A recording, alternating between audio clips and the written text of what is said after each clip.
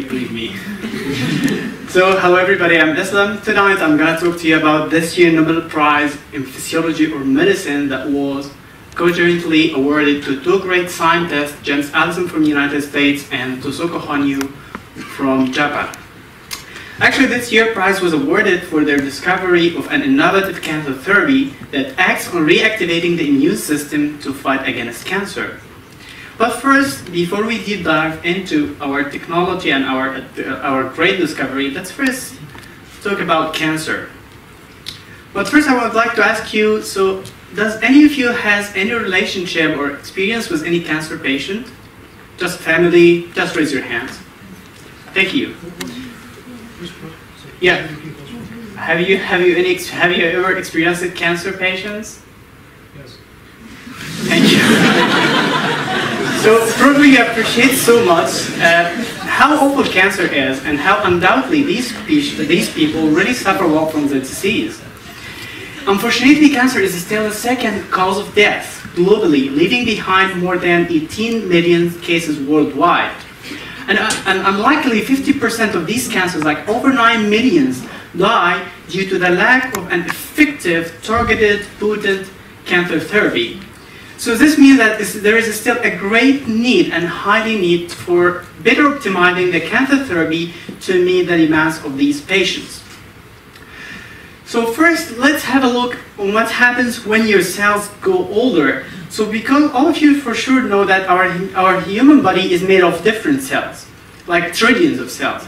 And these cells go older over time and they develop kind of disrupted DNA and damage. And in order to make up these damaged or old cells, we have, the, we have to go through a procedure, a procedure called cell division to produce normal healthy cells. In such case, this cell division occurs between 50 to 70 billions times a day. So can you imagine how many mistakes could just occur due to this massive number of cell divisions? And thirdly, there's a great number of errors. But luckily, because we have an active functioning immune system, so luckily we detect these, uh, the immune system can nicely detect the damaged cells and wipe it out, wipe it it out of the human body. But unfortunately, in the other case scenario, where the immune system fails to detect the first mutation or the first mistake, then another or further mistakes or mutations accumulate over, and this leads to the formation of a tumor mass, in such case that leads to cancer which can be metastasize and spread over distant organs of the human body. And unfortunately, the immune system in such case, it failed. But so how the doctors over the last years did manage to treat cancer and what were the cancer option therapy that they did have? And what about our current standing right now? So surgery being the first pillar of cancer therapy, until a century ago, this was the only and final hope for the patients just to be treated. Luckily, this option worked well with some cancers, but unfortunately there were plenty of cancers such as blood cancers or other cancers that can spread to more than one site inside the human body. So surgery was not a good and valid option. In the middle of the 20th century, radi the radiotherapy and chemotherapy came to play an important role in treating so many different cancers, but unfortunately, because in radiotherapy, for example, you expose the whole human body, including the tumor part and the non-tumor part, to a certain type of radiations, and this lead also to, the, to harming the healthy cells. And it works the same with chemotherapy that can result in very life-threatening infections due to the weakened immune system of these patients. This came to think this made scientists think about a new and innovative way of treating cancer by looking at this weakened immune system and if there is a way to reactivate it so it can work perfectly against cancer and the answer is yes so this means that immunotherapy provide a more safe approach to treat cancer because it doesn't work on the normal healthy cell but rather work on only the cancer cells so right now you should ask me like, so the immune can the immune system by itself act against cancer? And the answer is yes.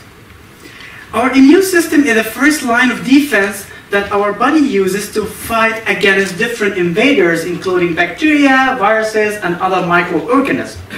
And this amazing system is composed of multiple populations of different cell types that play all together to fight against any invaders.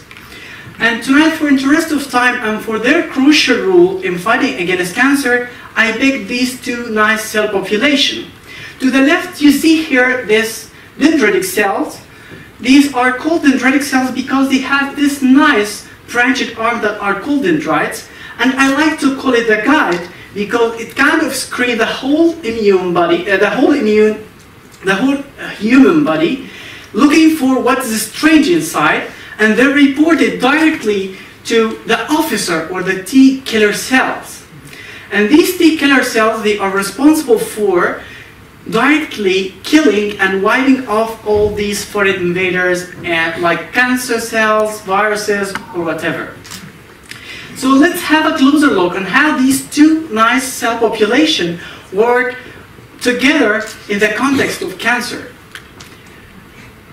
So imagine that this cancer cell is a spy that tries to sneak into your territory and luckily it shows and releases some specific features of the cancer cell that are called here antigens. And because our guide system is really active and well functioning, so it kind of detect these different molecules here, take sample of them, and report it directly to the station where the officers are. These are the T cells that you have seen the last slide. So what will the T cells do? Then the T cells will ask other T cells to form a patrol and activate all of them just to start, we have a mission. And we have to did it in the perfect way. So once they are activated, they go to the dark side of the tumor that was kind of recognized by the dendritic cells. They break the tumor wall and they infiltrate into the different sides of the tumor to make sure that every single spot of the tumor is kind of covered. And they have to make sure, in order not to harm the healthy cells that might present among this tumor mass, they have to make sure that this is the same thing that they got from the dendritic cells. And once they make sure now we have a cancerous cell, then let's release our toxins and finally destroy it and release a victory flag. Wow. so, yeah. So the question that might come to your mind right now, so why do people still get cancer if we have an amazing, and it's really amazing immune system? So the fact, oh sorry, I forgot to mention something important. So here is a real scene of how the immune system works. So in this, yeah. So this is a green, this green cell is a T cell, and this blue cell is a cancer cell. And these two red dots are just a signal that the T cells could finally detect the cancer cell. And what it is doing right now, it's just crawling over the cancer cell, releasing its toxins to completely destroy it. And it really succeeds in this mission. So coming back to the question I asked, so why do people still get cancer? Cancer is a very tricky disease that, that adapts so many different mechanisms to fight against the normal or the healthy immune system. And one of these amazing mechanisms that was discovered by the great scientist of our, of our Nobel Prize this year, that the cancer cell can overexpress or produce a signaling molecule on its surface that tell the T cells, no, come on, go away, I'm a normal cell like your normal body. And normally the normal cells do express this stopping signal, so our immune system does, does not attack our own immune cell, our own normal healthy cells. So our scientists managed to first detect that these two different stopping signals occur by a high abundance by cancer, and they thought, what about designing a drug molecule that can specifically target these molecules on the cancer cells? And in such case, if you release this stopping signal so that T cells can easily detect the cancer cells and start releasing these toxic molecules that are specifically toxic for the cancer in this context.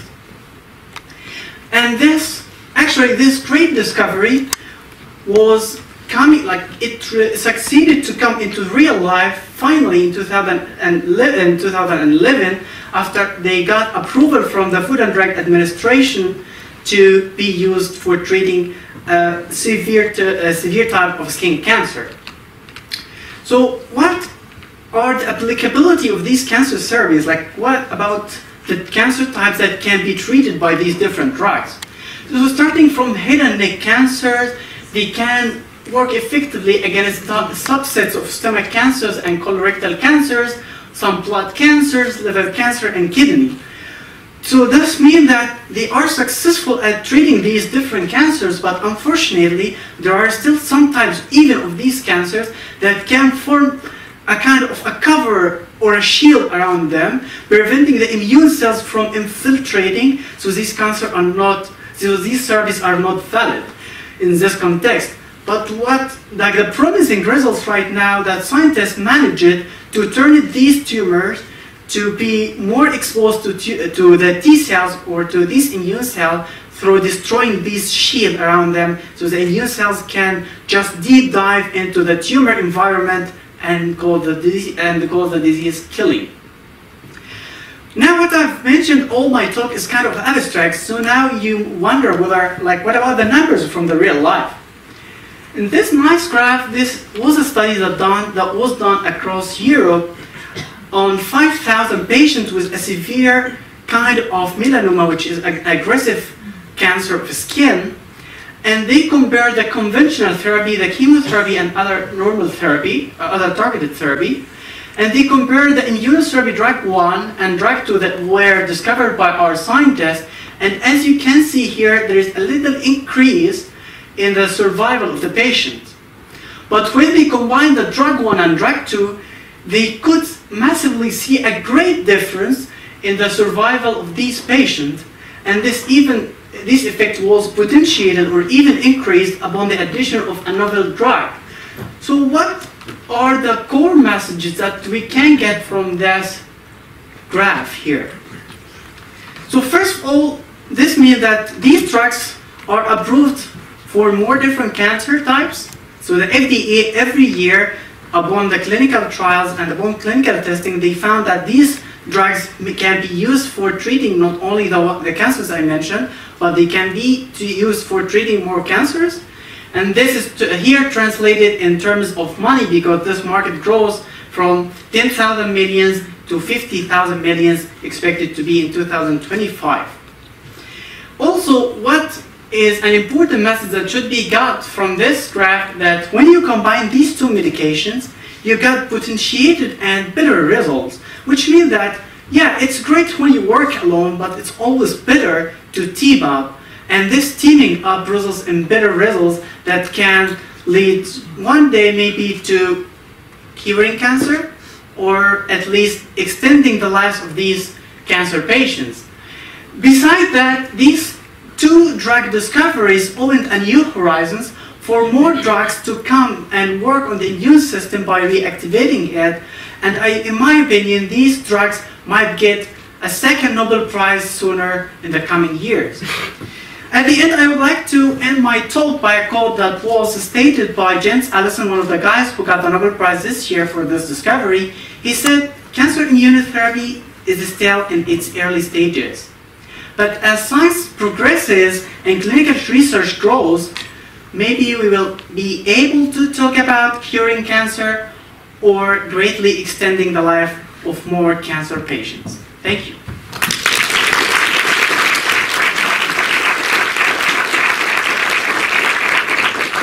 Really good talk. So, we have some time for questions. Uh, you mentioned that uh, chemotherapy and radiotherapy has severe uh, side effects. Yes. Uh, what are the side effects uh, up to date of the immunotherapy? I mean, the side effects are kind of manageable so far, but you cannot say or clearly conclude that these are the current side effects because it has been tested for like a certain time, uh, like just over three or four years so far. So in order to say that there's a valid side effect that coming out of the drug, you need some time. But all, I, what I can tell that most of the side effects of these immunotherapies are right now are so manageable by different uh, protocols. There is one some other? Yes, please. So, uh, you mentioned about this, uh, some types of cancer, they have this shield. Yes. And actually this T cells, like edited T cells cannot really enter this Yeah. tumors, right? But then you can use some treatments and you can actually put them inside. But during this time, if they leave the primary tumor, if they leave metastasis, Yeah. so is it, is it really a good choice to treat I mean, kind of cancers, like solid cancer with the shield?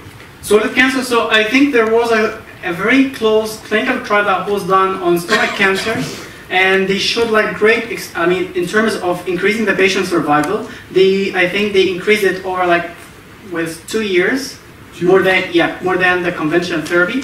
But I think the, the most important cancer with the shield is pancreatic cancer. I mean, And pancreatic the cancer, ratio is unfortunately, the results is not one, that one good. percent of the patients can actually get this Yes. drug, and it's not This is, this is true for pancreatic cancer, and unfortunately, so far the clinical trial didn't say that much. So we have time for one more question. So if you inhibit the, um, um, the inhibitor of the immune system, um, what you described as, Yeah. the, as the signal, um, don't T cells then just attack random cells in your body? This is a really great question. So the point is what cancer does in order to escape this immune checkup, they overexpress or they produce these stopping signals in high abundance. So when you get the drug, it can't because you have so much of these signals, so the drug selectively can't go to that areas. And this is like you have to do so much with those adjustments so that it doesn't harm the normal cells. Okay, thanks. Essentially, this is this problem is solved. I hope so. Thank you. Thanks a lot.